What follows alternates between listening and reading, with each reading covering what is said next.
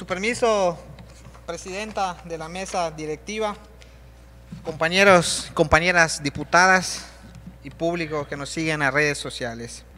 Un famoso andagio popular reza que si eres parte del silencio, eres parte del problema.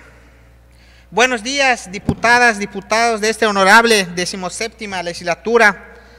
El día de hoy presento ante este alto pleno deliberativo tres iniciativas de distinta índole, tres iniciativas que para mí significan ser parte de la solución y no del problema. Como decía el célebre político británico Churchill, se necesita coraje para hablar, pero mucho más para escuchar. Y durante mi campaña me preocupé por escuchar las dolencias de la sociedad así como sus principales inquietudes. Y de ese acercamiento surgieron las presentes iniciativas. Me gustaría hablar de esta iniciativa de decreto mediante la cual se adiciona el capítulo primero bis, denominado violencia en el noviazgo, así como los artículos 7 bis, 7 ter y 7 cuater, al título segundo de la ley de acceso de las, de las mujeres a una vida libre de violencia del estado de Quintana Roo.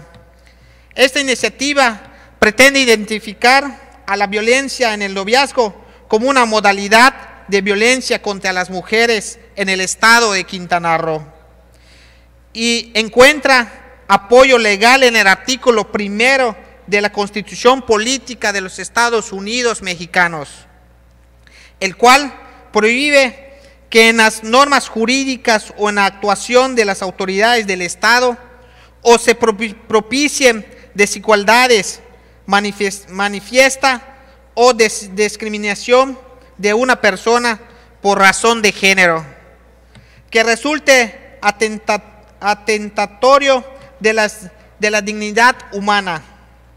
Encuentra también fundamento en diversos tratados internacionales específicamente en los artículos, en dos artículos. Párrafo primero, inciso, en el artículo segundo, párrafo primero, inciso C. Y 10 de la Convención sobre la eliminación de, de, toda de todas las formas de discriminación contra las mujeres. Publicada en el Diario Oficial de la Federación el día 12 de mayo de 1991 y 7 de la Convención Interamericana para prevenir, sancionar y erradicar la violencia contra las mujeres. Convención de Belén do Para. Adicionalmente, se observa lo señalado por la Corte Interamericana de los Derechos Humanos en su sentencia González y otras, que establece la importancia de la protección y reconocimiento de los derechos humanos de la mujer y no solo implica que el Estado constitucional de derechos se abstengan a violar estos derechos fundamentales, sino que además realicen la adopción de medidas positivas para garantizar la protección de estos derechos. Es oportuno mencionar que de acuerdo con datos que arrojan la encuesta nacional sobre la dinámica de las relaciones en los hogares para el año 2021, elaborada por el Instituto Nacional de Estadística y Geografía que el estado de del Estado de Quintana Roo, cuenta con un alto índice de violencia en contra de las mujeres, teniendo un porcentaje de 46.1%, lo que significa un porcentaje mayor al de la media nacional. Es por todo lo, anterior que me niego a ser, un, espectador más de, este, de esta problemática, que hasta el día de hoy no se le había prestado la atención necesaria. Y es que a través de esta iniciativa que pretendo se desarrollen políticas públicas que enfrenten y combatan esta situación, ya sea desde el marco de la prevención, o bien de la atención y del seguimiento.